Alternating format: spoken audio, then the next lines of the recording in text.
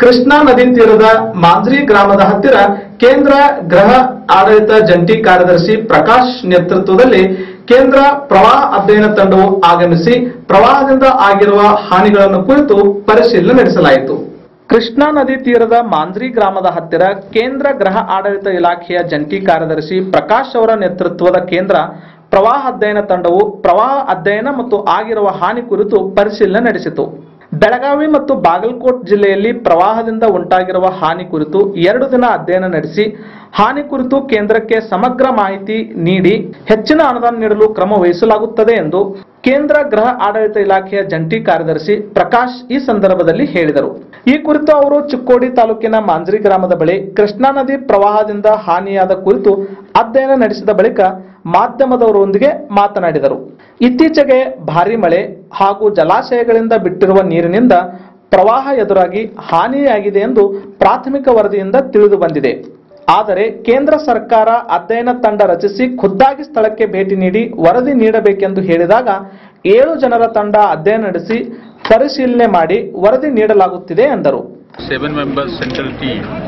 Seven members central team uh, Karnataka के दौरे पे है जो कि अ, बाढ़ से बहुत प्रभावित है। इस एरिया में मैंने देखा कि यहाँ पे शुगर केन की जो प्रॉब्लम है, उसका बहुत नुकसान हुआ है। और हम लोग इसका ध्यान रखेंगे और जब भी रिपोर्ट सबमिट करेंगे तो इसमें इसमें सम्मिलित होंगे। ಈ ಸಂದರ್ಭದಲ್ಲಿ ಕೇಂದ್ರ ನೆರೆ ಅಧ್ಯಯನ ತಂಡ ಅಂಕಲಿ ಮಾಂಜ್ರಿ ಬಳಿ ಇರುವ ಸೇತುವೆ ಹತ್ತಿರ ಹಾನಿ ಪ್ರದೇಶ ವೀಕ್ಷಿಸಿದರು. ಮತ್ತು ಅಲ್ಲಿಂದ ಮಾಂಜ್ರಿ ಗ್ರಾಮದ ಅಂಬೇಡ್ಕರ್ ಕಾಲನಿಗೆ ತೆರಳಿ ಮನೆಗಳು ಬಿದ್ದಿರುವುದನ್ನು ಪರಿಶೀಲಿಸಿದರು.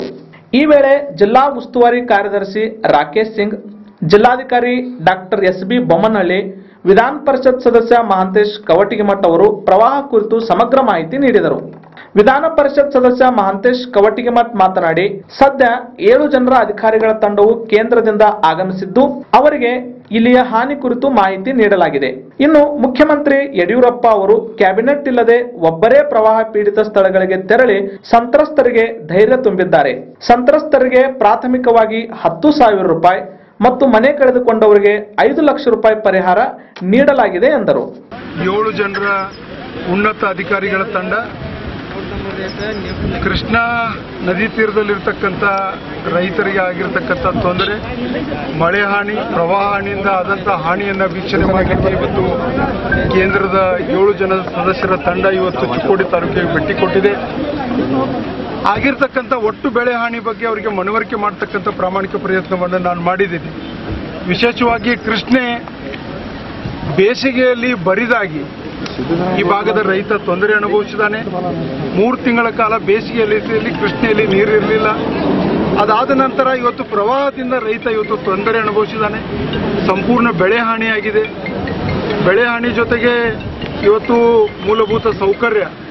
ಮನೆಗಳಿರ್ಬೋದು, ರಸ್ತೆಗಳಿರ್ಬೋದು, ಮತ್ತು ಸಾಮಾನ್ಯ ಬಡವನ ಬಾಳು ಇವತ್ತು ರಸ್ತೆಗೆ ಬೀದಿಗೆ ಬಂದಂಥ ಸಂದರ್ಭದಲ್ಲಿ ಕರ್ನಾಟಕ ಸರ್ಕಾರ ಈಗಾಗಲೇ ಸಹಾಯ ಹಸ್ತ ಚಾಚಿದೆ. ಕೇಂದ್ರದಿಂದಲೂ ಸಹಿತ ಅತಿ ಹೆಚ್ಚಿನ ನಿರೀಕ್ಷೆ ಇವತ್ತು ಈ ಭಾಗದಲ್ಲಿರ್ತಕ್ಕಂಥ ಕಬ್ಬು ಬೆಳೆಗಾರರು ಇರ್ಬೋದು ಇತರೆ ಸಾಮಾನ್ಯ ರೈತರಿಗೆ ಸಾಮಾನ್ಯ ಬಡವರಿಗೆ ಹೆಚ್ಚಿನ ಸಹಾಯ ಸಿಗಬೇಕಂತಕ್ಕಂಥ ಬೇಡಿಕೆಯನ್ನ ಕೇಂದ್ರ ತಂಡದ ಮುಂದೆ ಇಟ್ಟಿದ್ದೇವೆ.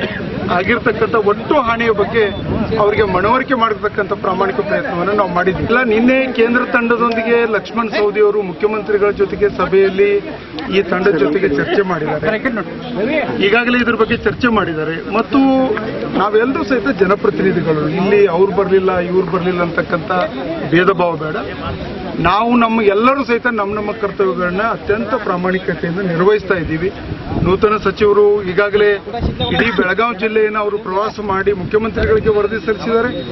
ಮುಖ್ಯ ಕಾರ್ಯದರ್ಶಿಗಳಿಗೆ ವರದಿ ಸಲ್ಲಿಸಿದ್ದಾರೆ. ನಿನ್ನೆ ಮುಖ್ಯಮಂತ್ರಿಗಳ ಜೊತೆ ಸಭೆ ಆದಂತಹ ಸಂದರ್ಭದಲ್ಲಿ ಲಕ್ಷ್ಮಣ್ ಸೌದಿ ಅವರು ಆ ಒಂದು ಮಾಹಿತಿಯನ್ನು ಸಹಿತ ಕೇಂದ್ರ ತಂಡಕ್ಕೆ ನೀಡಿದ್ದಾರೆ. ಈ ಸಂದರ್ಭದಲ್ಲಿ ಕೇಂದ್ರ ಪ್ರವಾಹ ಅಧ್ಯಯನ ತಂಡದ ಸದಸ್ಯರಾದ ಕೇಂದ್ರ ಗ್ರಾಮೀಣಾಭಿವೃದ್ಧಿ ಉಪ ಕಾರ್ಯದರ್ಶಿ ಮಾಣಿಕ್ ಚಂದ್ರ ಪಂಡಿತ್ ಕೇಂದ್ರ ಜಲಸಂಪನ್ಮೂಲ ಇಲಾಖೆ ಅಧೀಕ್ಷಕ ಇಂಜಿನಿಯರ್ ಜಿತೇಂದ್ರ ಫನ್ವಾರ್, ವಿದ್ಯುತ್ ಸಚಿವಾಲಯದ ಉಪನಿರ್ದೇಶಕ ಓಪಿ ಸುಮನ್, ರಸ್ತೆ ಹಾಗೂ ಸಾರಿಗೆ ಮುಖ್ಯಾಧಿಕಾರಿ ವಿಜಯ್ ಕುಮಾರ್, ಹೈದರಾಬಾದ್ನ ಕೃಷಿ ಇಲಾಖೆಯ ಜಂಟಿ ನಿರ್ದೇಶಕ ಡಾಕ್ಟರ್ ಪನ್ನುಸ್ವಾಮಿ, ಕೇಂದ್ರ ಹಣಕಾಸು ಇಲಾಖೆಯ ನಿರ್ದೇಶಕ ಎಸ್ಸಿ ಮೀನಾ, ಜಿಲ್ಲಾ ಉಸ್ತುವಾರಿ ಕಾರ್ಯದರ್ಶಿ ರಾಕೇಶ್ ಸಿಂಗ್, ಜಿಲ್ಲಾಧಿಕಾರಿ doctor S B Bommanalli C S Rajendra ಉಪವಿಭಾಗಾಧಿಕಾರಿ ರವೀಂದ್ರ ಕರ್ಲಿಂಗ್ನವರ್ ತಹಶೀಲ್ದಾರ್ ಸಂತೋಷ್ ಬೆರಾದಾರ್ ಸೇರಿದಂತೆ ಹಲವು ಅಧಿಕಾರಿಗಳು ಉಪಸ್ಥಿತರಿದ್ದರು.